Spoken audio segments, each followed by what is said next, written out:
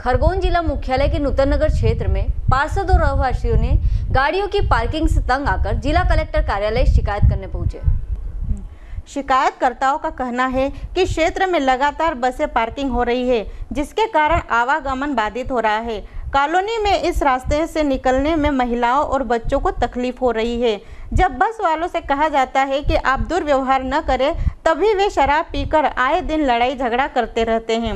दो दिन पूर्व ही इसी क्षेत्र में एक बस के कांच फोड़ दिए गए थे और भारतीय जनता पार्टी जिला अध्यक्ष परसराम चौहान की कार के शीशे भी तोड़ दिए गए थे।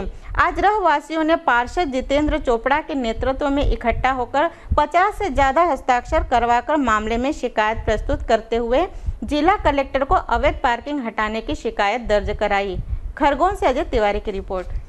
ये आज समस्त कॉलोनी वासी जो कि पिछले दो तीन महीने से लगातार बहुत परेशान है, जो वहाँ पे नगर पालिका की जो जगह थी, जहाँ पे गए उसी जगह पे सब बसें खड़ी हो रही है और वो बस वाले आए दिन कॉलोनी वालों से कोई पीछे लेने में, आगे लेने में कोई आता है तो विवाद होते रहते हैं।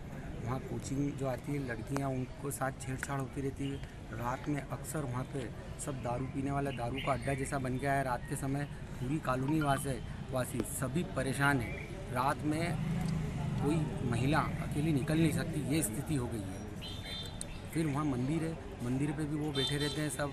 वो कौन महिला वहाँ आप पे क्षेत्र के? पार्षद हैं और आपको यहाँ तक आना पड़ रहा है प्रशासन के पास। क्या लगता है आपको कि प्रशासन आपकी भी नहीं सुन पा रहा है? हमने सबको अवगत करा दिया है पहले भी। बाकी हमने कलेक्टर साहब को अवगत कराना ज़्यादा उचित समझा कि सीधे कलेक्टर साहब ही अब इसमें हस्तक्षेप करें तो ठीक रहेगा।